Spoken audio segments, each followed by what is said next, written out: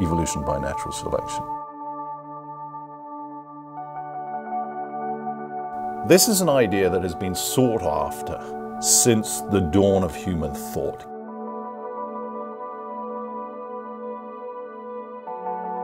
And it was a theory that was discovered by two people, and we've blithely forgotten one of them.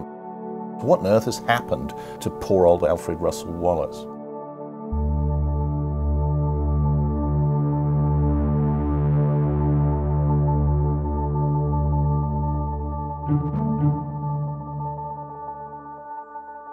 Alfred Russel Wallace was born in 1823 in a, a, small cottage by the banks of the River Usk in Wales. And he works with his brother and they're surveying the British countryside. He becomes interested in plants.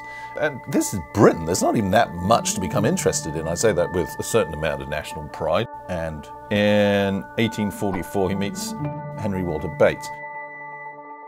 Bates turned out to be a really keen beetle collector. So, okay, here we are collecting beetles in miserable Britain. We can do better than this. We can do real science. He suggested to Bates that they both go off to Brazil and collect mainly insects but also birds. These are two know-nothings. If they don't have any money, they've been nowhere, and they decide to go to the tropics.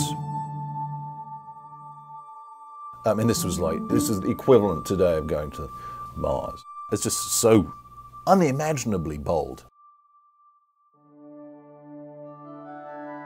They headed off to Brazil, worked together for a while, and then decided to split up and concentrate on different areas of the Amazon. Wallace was the modern equivalent of a backpacker.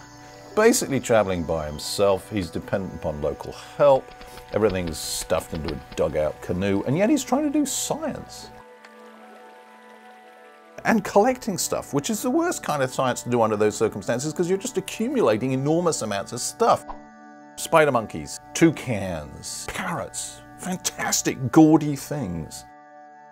So he has this vision. He's going to walk into a London scientific salon with a toucan on his arm. He's not going to be a nobody, he's going to be a somebody. What happened next was that 26 days into the voyage, when the, the ship was kind of in the middle of the Atlantic, it caught fire. Ship's on fire, it's going up like a tinderbox. And they watched the ship sink.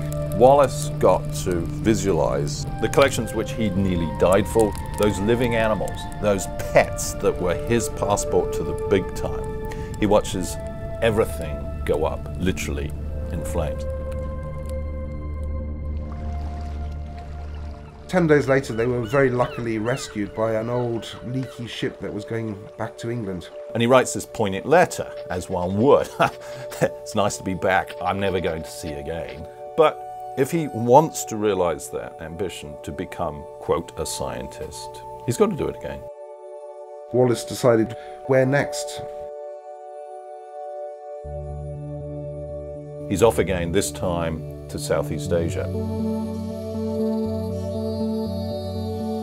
He collected an astonishing total of 126,000 specimens of natural history, and out of all the specimens he collected, several thousand were new to science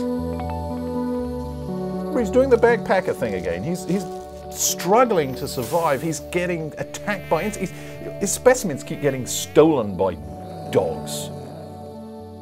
And yet he's still finding time in between bouts of malaria to really think big picture. He was in a, a little uh, village, you know, racked by malarial fits. During this illness, Wallace was really thinking about natural history and the distribution of plants and animals in space and time. The notion was that species changed one into another through time. And for whatever reason, ping, yes, there was his eureka moment. Wallace realized uh, basically there's constant death and struggle in the, the natural world. There's finite resources, therefore a competition. So who's going to win that competition? Well, the best endowed. And this provided a mechanism driving evolution, natural selection.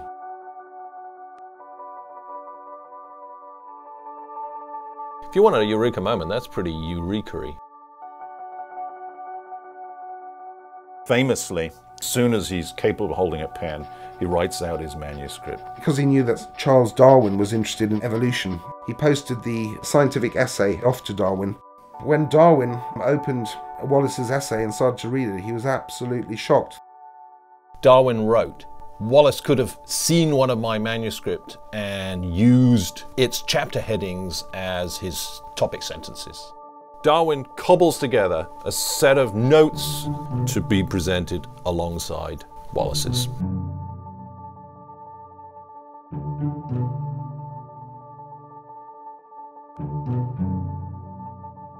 The next thing that happened, of course, was it galvanized Darwin into scribble, scribble, scribble. The Origin of Species, published in November 1859, does mention Wallace in the preface, but it's my theory. This is, here it is. And look, to a certain extent, fair enough. You know, he's been working on this for a long time. Does Wallace go through and count the number of times he's referred to? Does Wallace get resent? Excuse me? No. Wallace loves the book, says, No, no, God, look, Darwin knows so much. I couldn't have done this. I suppose um, I hate sort of injustice, and I feel that at the moment the history of biology has a very Darwinocentric uh, view. People like Wallace actually made massive um, contributions, and they deserve to be remembered as well. It's the greatness of the idea that they had which should give him prominence, which is this idea that everyone's been seeking forever where we come from and how we relate to the rest of the natural world.